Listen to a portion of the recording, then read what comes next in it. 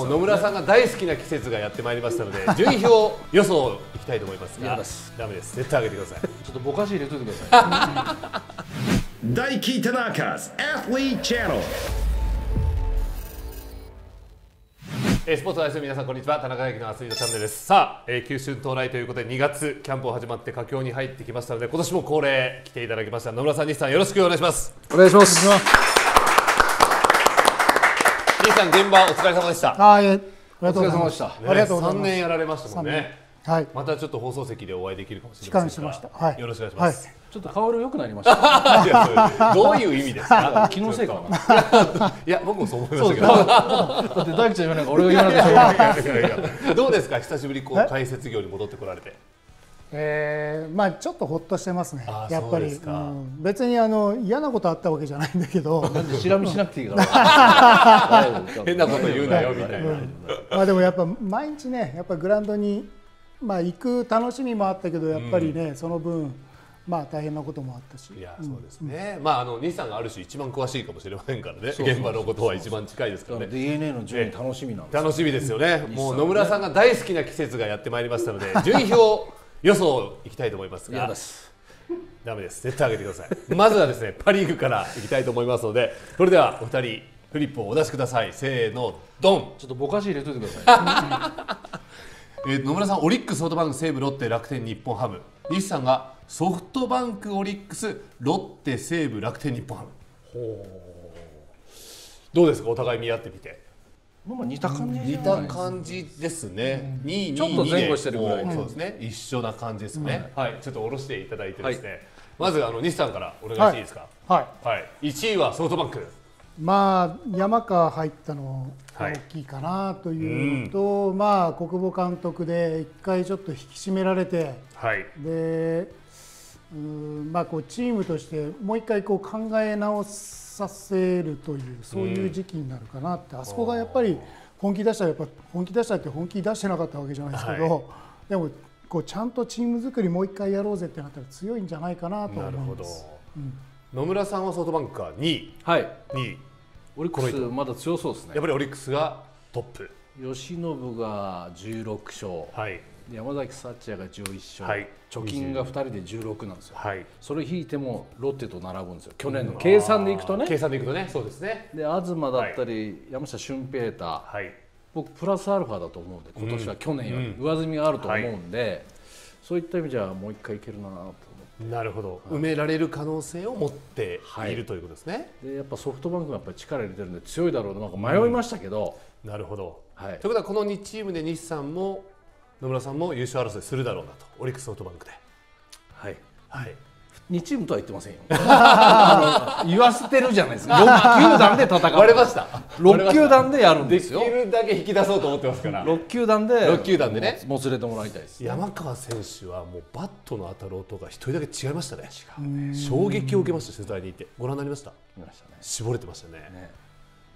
それは気合入ってるでしょ。気合入ってますね、やっぱりパフォーマンス出そうな感じありますか？やると思いますよ。うん。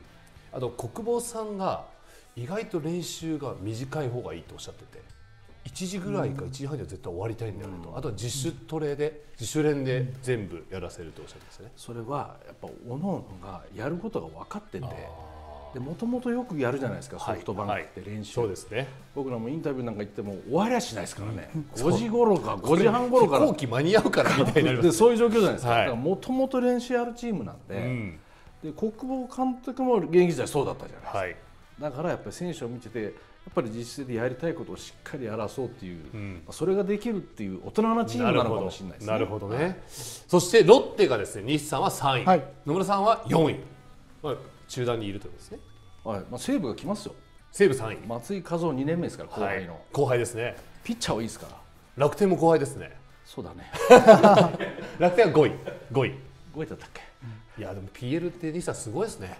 6ね。球団のうち2球団。本当だ。監督す。ごいな。タツ入れたら3人だそうですよね。すごい12分の3ですね。やだから頑張ってほしいんだよ本当に。だから順位表獲得一番悩んでましたね。それはやっぱ忖度してるだろって言われてもいいって言いますよしますわね。ただやっぱ松井稼頭監督今井監督が後輩だからはい、まだねそこは。まあ、先輩じゃないから。先輩じゃないですから。はい。まあ立浪さんは同同級生。生だし上じゃなくてよかったですね。タツも今年はやらなあかんって去年も言ってたけどちょっとね今年も言ってましたから、えー次回のね、はい。セ・リーグ優勝予想の時にはお伺いしようと思います。西さんはロッテ3位の理由は、ロッテ、まあ、ここのとこ、まあ、こんな感じですよね、ずっとね。うん。まあ、これ、まあ、これ以下にもならないし、うん。まあ、特別なんだろう。ん。う、なんなんて言えばいいのかな、失敗しないという、まあ、よく言えば。うんはいはい。うん。まあ、プラスアルファの選手がいるっていうわけでもないので、うん。まあ、取りこぼしはしないなっていう感じ。まあ野球もうまいですもんね。まあ、そうですね。野村さん佐々木朗希投手が1年間フル回転できると予想されますか？しなきゃいけないですね、しなきゃいけない。うん。もうしなきゃいけないでしょ。うん。メジャーもさ行きたいからね、1そうですね。年間ちゃんとやれないと向こうにも認めてもらえないし、うん。球団も認めないでしょうね。ってことは爆発する可能性はありますよね。あると思い。ます、もう彼が5年目6年目？5年目が入りだますね。要するに大卒の1年目と一緒ですからはいね,、、そうですね。やらないかんですねうんそうですね。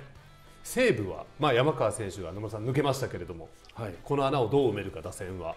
まああのベテランの2人も元気ですしね、えおかわり君だったり、うん栗山のなんかも元気でベッケンが出てきたじゃないですかはい。ただねピッチャーがいいいいですね。かなりいいですね。そうです、はいでアブレイユってニューヨークから来てるんですよ。抑えをやるい。いんですか？球見たけど鉄砲玉みたいな球。ただドーンいくんですか？ただあれ多分160キロぐらい出ますよ。ただ未知数じゃないですか。あまあそうですね、使ってみないとわからない部分がありますね。そうですそうですそうです。ただやっぱりな中継ぎ陣もそうだし、うん。でソフトバンクから、えー、ど忘れしちゃった。甲斐野が入ったでしょ、はい。でそういった意味じゃやっぱり先発陣はいるし、ブルペン陣も分厚いしというところでは、そうは点取れないかなっていう相手もね、ということは A クラスに来る可能性が来ると思いますね。はい西さんあの二軍監督されてて、はいねイーさんで西武のピッチャー見てたと思いますが、やっぱりいいですか？そうですね。あの、うんまあうまくこういいタイミングで上げてる感じはしますね。で、まあ計画的にちゃんと使ってるだろうなっていう。うん。で、まあ渡辺別件もね、はいあのずっと二軍で見てましたけども、あのまっすぐに対しては多分一軍の選手と全然引けを取らないと思います。まあやねわまあやっぱりずっと二軍にいたので当然あの弱点はあるじゃああるんですけど、でもいいですよやっぱりあそうですん力強いですよ。なるほど。ってことは投手王国西武が出てくると上に来そうですね。確かに。日産4位ですね、西さん、四位、まあうん。まあ。でも厳しくいなくなまあでもまあこうロッテと同じ感じだと思うんですよ。はいはいはいはい。で去年よりはちょっといいんじゃないかなと思うんですね、うん。去年は、まあ、山川のねああいはい。うこともあって,、一見があって。でまあいいるいないわからない中でやってたんですけど今年はもういないっていうもう状態でもうシーズン入るので、もうはい。チームの構成が多分ねあの首脳陣も、はい。うんそうできると思うので、うん。うん。なのでもうちょっと上に行くっていう、まあ、去年よりはもうちょっと上に行くっていう。大怪我はしないだろうなって感じですか。でお二人とも5位楽天、6位日本ハム同じですね。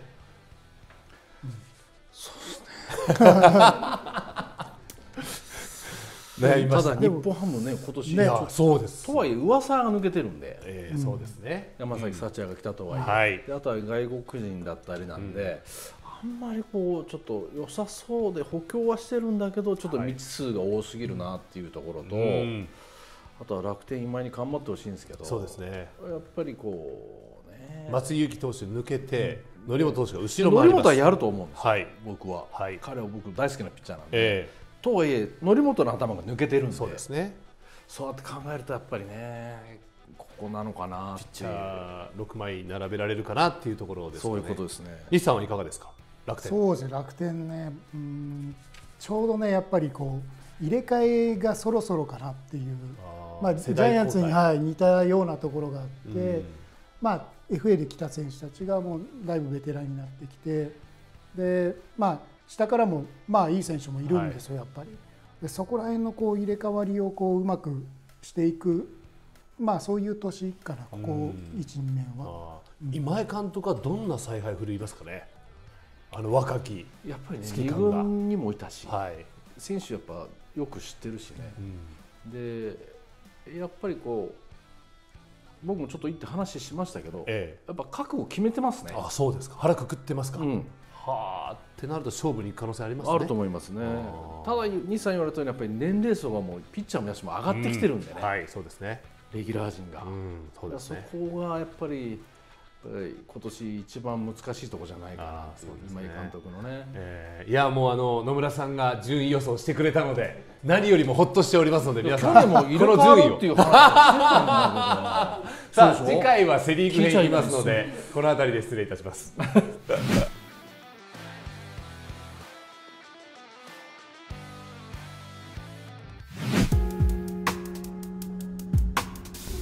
屋さんで借りるとおいくらぐらいですか、はい。これは1日1万5800円